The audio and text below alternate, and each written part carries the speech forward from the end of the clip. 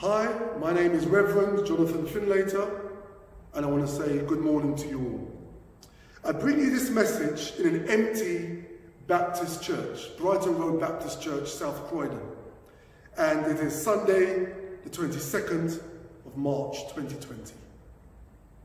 Now, first of all, I would just like to say Happy Mother's Day to all you mothers. And I also love to include women um, who are guardians, who are carers of people. And I even include those who are spiritual mothers to someone else. You're all mothers. And I want to say thank you, God, for all of you. I also want to wish a happy birthday to my sister, Miriam. Happy birthday to you. Now, our church is empty this Sunday morning because churches and religious faiths, as well as England on a whole, has been advised by the government to be involved and engaged in social distancing. In accordance with Public Health England, the Baptist Union of Great Britain advised Baptist churches to no longer conduct public worship until further notice. This particular strain of coronavirus, COVID-19, continues to spread globally. Beginning and being first reported in Wuhan, China, it spread to countries like Italy, Spain, Iran, America. It was sad to hear three days ago how Italy's coronavirus death toll has surpassed China. It was troubling watching footage of one of the main hospitals in Italy and how they're struggling and how they're inundated with sick and ill and dying patients. Very hard to watch that footage.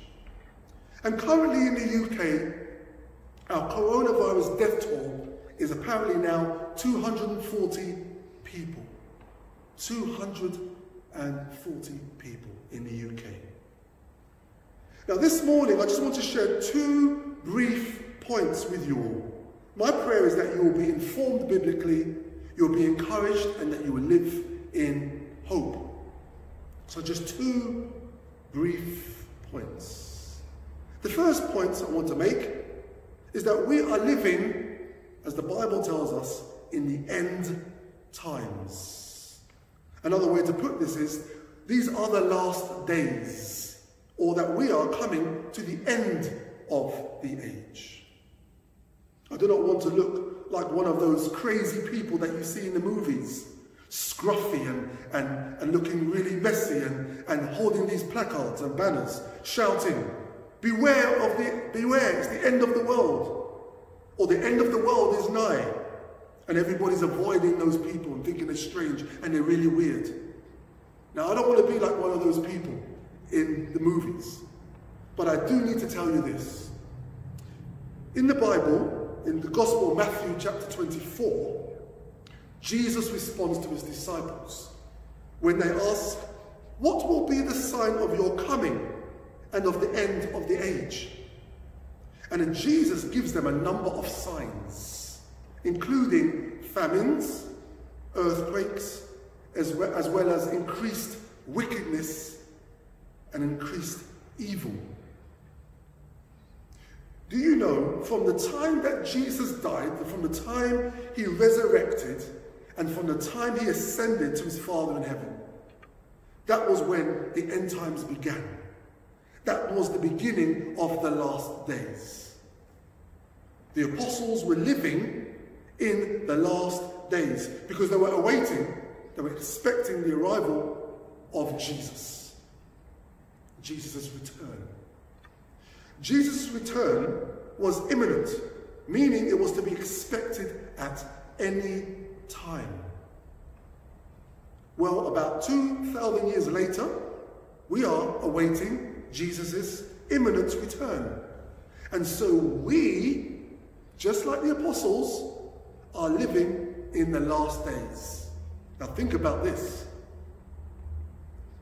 If the apostles were living in the last days, and we have gone 2,000 years or so beyond, how much more last days are we living in? And for that reason, I do believe evil will continually increase. We will see, I believe, more devastating and tragic events. Why do I say that? Because it's in line and it validates the Bible. The Bible has told us these things will happen. So, how should we be living, you may be asking? How should we be living our lives today? Well, we should be ready.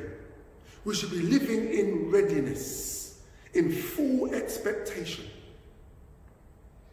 We should be living like we know that Jesus is coming tonight. Almost like we received a memo. It was given to us, handed to us, and it tells us that Jesus is coming tonight. That's how we should be living. The Bible, namely in Colossians chapter 3 verse 5, reminds us to put to death the desires of our flesh. Some versions say mortify, crucify. We are to put to death our fleshly desires, our earthly and wrongful longings. Deal with them and put them to death. How do we do that? We do this by daily confess confessing our sins to the Lord.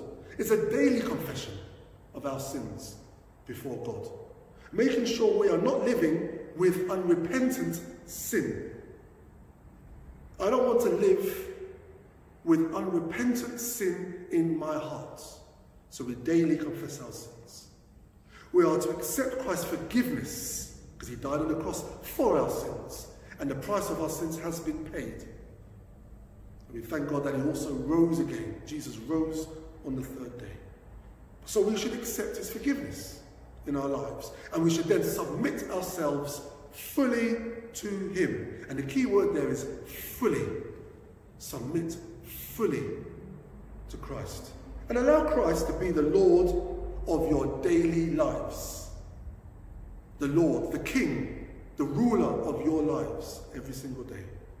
This is how we are to live in expectation of Christ's return. And now we come to my second point, which is my final point. And it's that it's quite normal to be worried. It's quite normal to feel afraid. There is a lot of uncertainty right now. There's a lot of confusion, doubt, worry, and questions, concerns that are out there right now. And these are normal. Our government is not telling us everything. We are hearing more about the death tolls than we are hearing about the recoveries, the successful recoveries. Some reports say COVID-19 will be over within three months. Others disagree and say it will be up until autumn or maybe the end of the year. The vaccine for COVID-19 does not seem to be nearly even ready. Some say we are close to finding the vaccine. Some say it could be up to 12 to 18 months. And then even when the vaccine is ready for the general public, there is a fear as to whether to take it or not. What's going to be in that substance? Could it cause more harm than good? And then there's the financial issues and what state our country will be in economically when all this is over. These are all the worries and questions and concerns that people may have. But all this to say, it is understandable for people to worry and be afraid. I think it's silly to sort of act as if we, we, that it's kind of abnormal to be afraid. It's, it's normal.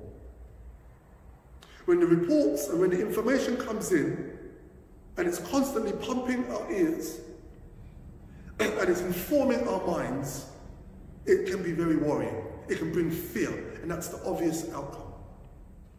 But I want to remind you of all this. The Bible talks about not worrying numerous times. The other day I asked my children, I asked them, why do you think the Bible tells us not to worry so many times? And my daughter said that they think it's because we worry all the time. We seem to do it naturally. They are very, very correct. Yes, we do. We do it very naturally. We worry very easily and we forget what God's word instructs us. Some people call it spiritual amnesia.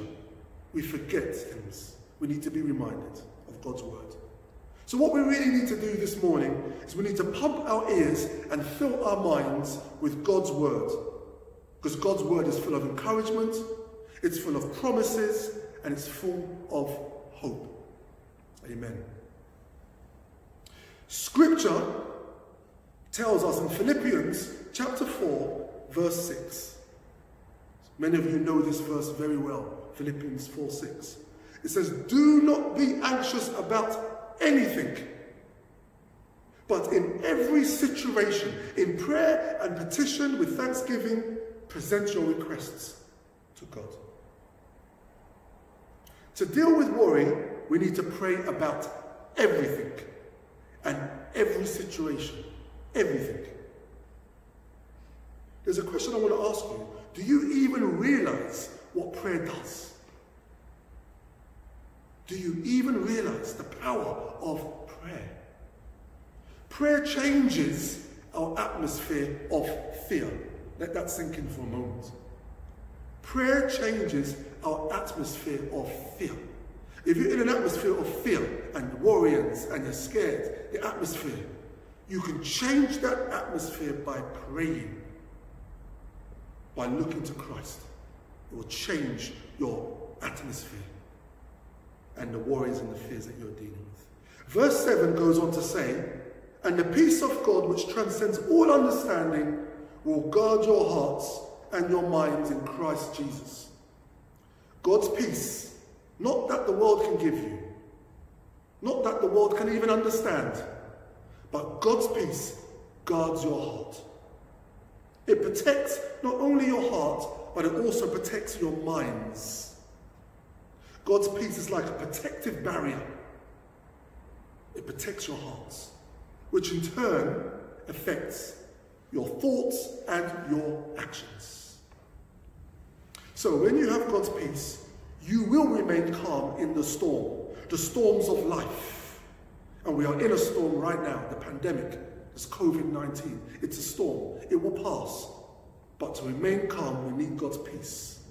May it guard your hearts this morning. And so I leave you with this. I end here. Remember, we are living in the last days. And I will speak more about this another time and its implications to us. We are living in the last days, the end times. But live ready, live blamelessly, live righteously, and live Christ-like. Live your lives unto the Lord until he returns. And lastly, do not worry, do not be anxious, but bring every concern, every problem, every worry, every doubt, bring it all, all to the Lord in prayer. Thank you for listening and please be encouraged. This is from Brighton Road Baptist Church, South